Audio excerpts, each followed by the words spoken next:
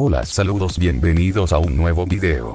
Bien aficionados del Toluca atentos pues su equipo, ya tiene director técnico y no creerás de quién se trata.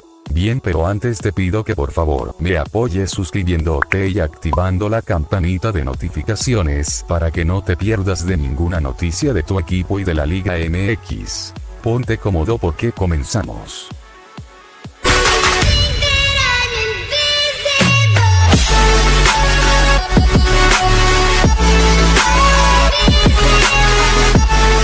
Bien después de que el club despidiera al Checo de la Torre empezaron a sonar nombres para el sustituto como el regreso de Saturnino Cardoso Hernán Cristante, o nombres de directores técnicos experimentados como Rubén Omar Romano o la gran sorpresa el ex técnico de la selección mexicana Juan Carlos Osorio.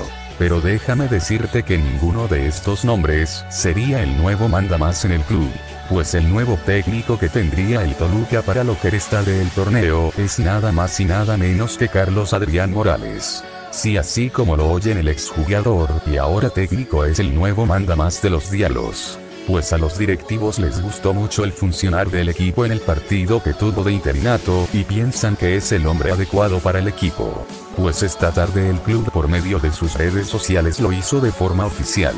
Bien así que esperemos que haga muy buen trabajo como el de Lilini en los Pumas.